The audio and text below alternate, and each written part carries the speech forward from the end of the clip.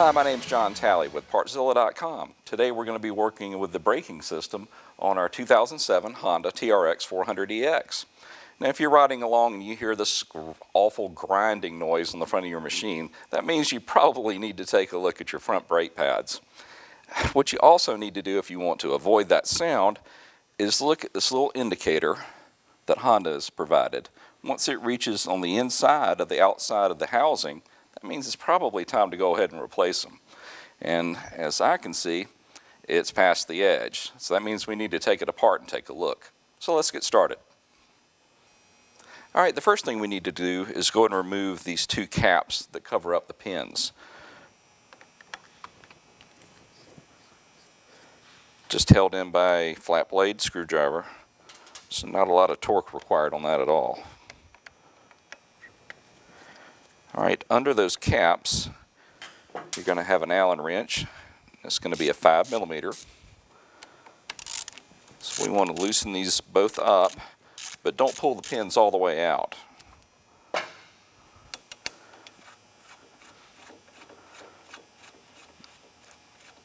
Thread them back, just let them sit just like that. Because they're actually still holding on to the pads themselves.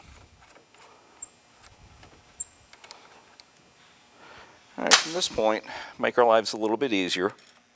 I want to go ahead and compress the cylinder on the caliper. Right, at this point, we can go and remove our two 12 millimeters that are holding it to the carrier.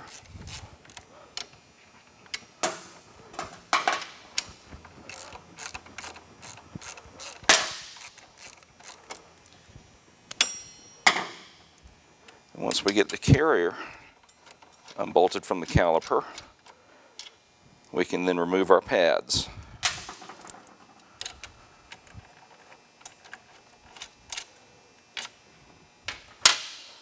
Alright, lift it off the disc. And as you can see, our pads are pretty well worn. So that indicator was spot on. Alright, a little tricky here. You want to push in on the pads themselves because there's a spring pushing them up. You do that and your pins will pull right out.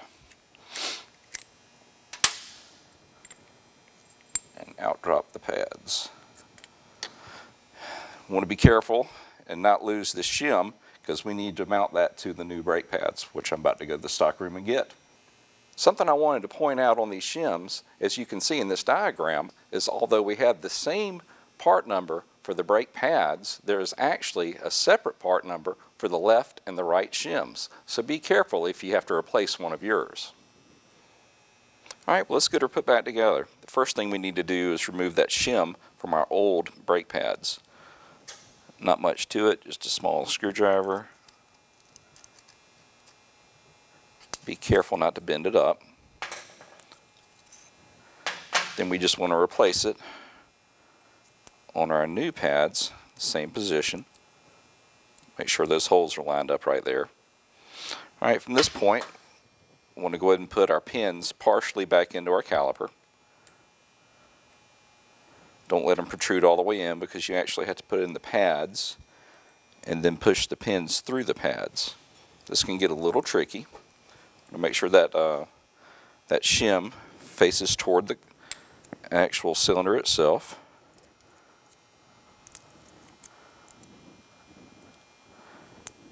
Put on the outer like so.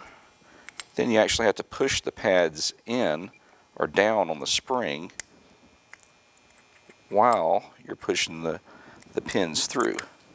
There goes one. And there goes the other.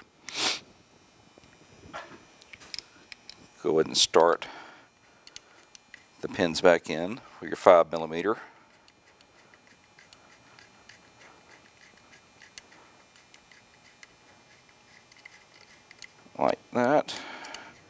both of them in there. All right, at this point, we're going to go ahead and use our flat blade screwdriver to make sure it's all the way open. And now we can slide it back over the disc.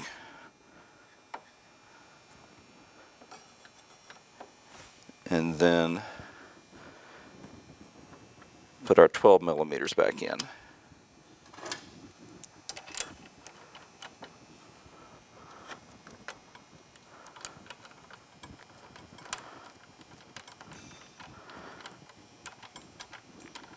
Like so.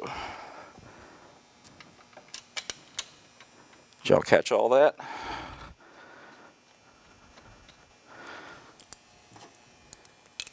Get those snug back down.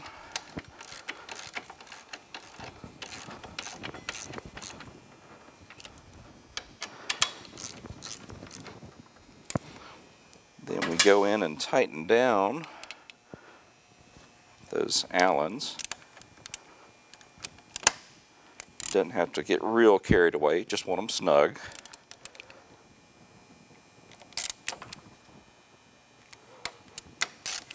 And after that, we'll just put on the caps. Give our brake a few pumps to get it to seat in.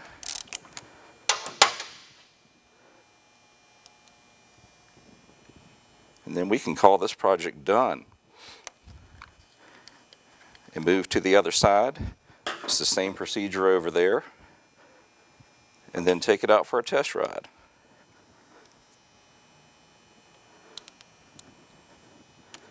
Get the caps back on.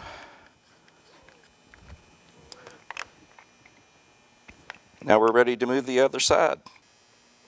Now we've already wrapped up the other side, so the only thing that's left now is to pop on the tires and go take it for a spin. If you have any questions or comments, feel free to leave them below and we'll do our best to answer them. And if you have any other parts needs, come see us at partzilla.com.